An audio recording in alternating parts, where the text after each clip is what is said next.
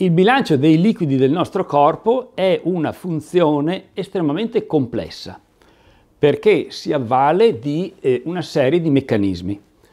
Noi abbiamo eh, due meccanismi fondamentali che sono la sete. La sete è il meccanismo principe perché è uno stimolo automatico che ci richiede di andare all'accesso ai liquidi quando si modificano alcune caratteristiche biologiche, chimiche della nostra composizione corporea.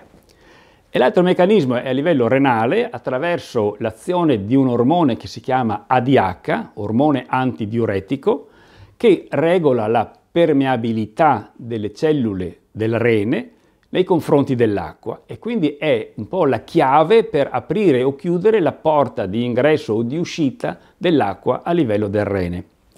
Questi meccanismi eh, si mettono in funzione sulla base di stimoli che partono da alcuni recettori. Noi abbiamo dei recettori, si chiamano barocettori, che leggono il, la, la pressione dell'acqua all'interno del nostro corpo, quindi il contenuto quantitativo di acqua. E poi abbiamo dei recettori che si chiamano osmocettori, che invece leggono la composizione del nostro corpo e quindi la concentrazione dell'acqua. Questi due tipi di recettori agiscono proprio sullo stimolo della sete e sulla secrezione di questo ormone ADH.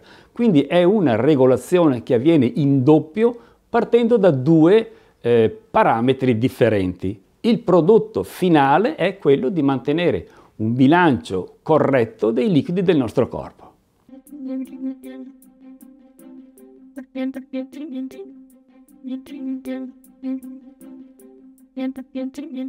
Thank you.